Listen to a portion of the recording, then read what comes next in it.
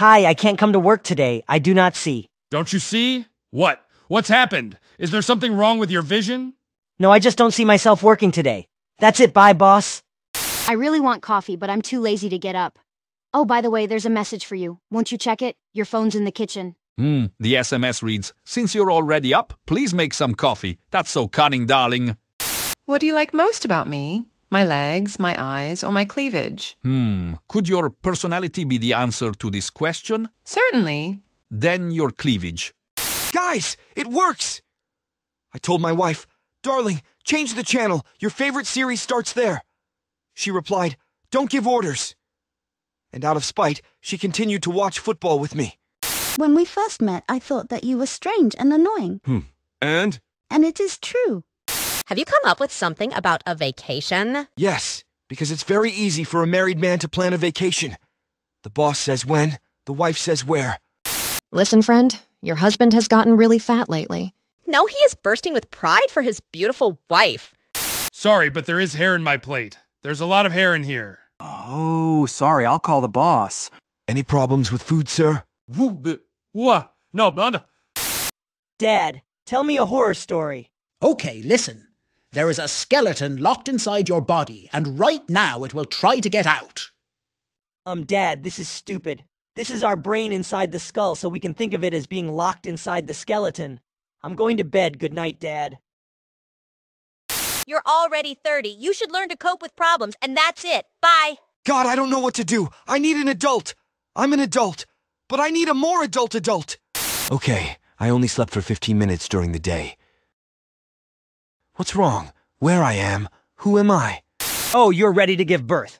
We have new technology that can transfer some of your pain to the child's father. Shall we start by transferring 50% of the pain? Ah, yes, let's do it. Doctor, I don't feel anything. Wait, my friend Steven is calling.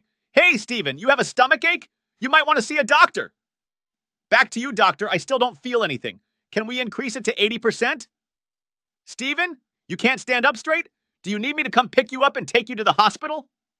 Wait, doctor, let's go for 100%. Can you imagine, buddy? My wife left me because I'm an alarmist and paranoid. Oh, sorry. Oh, everything is fine. She was the one who went out to buy bread. Well, tell me what it's like to be a married woman. Well, dear, in general, 90% of family life is shouting, What? from different parts of the house. How are you living? How do you feel after the wedding? In general, everything is fine. But before I got married, I had no idea that it was possible to put milk in the refrigerator incorrectly. It's my mother's birthday. Did you come up with what to give? Well, I don't know. Let's give your mother as much money as she's old. Wow. Shall we give you $50,000? What? She just turned 50,000? Girls, my wedding is coming up soon. Do you have any advice for me? I was happily married for 20 years, over the course of five husbands. If your husband ever says anything other than, I don't have time to listen to your complaints, remind him to plan his day better and maybe wake up an hour earlier. Send him funny pictures so he doesn't get bored at work. Honestly, being in a family means chatting with someone while they're on the toilet.